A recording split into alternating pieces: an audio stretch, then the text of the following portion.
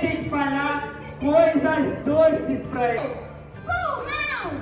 Pulmão!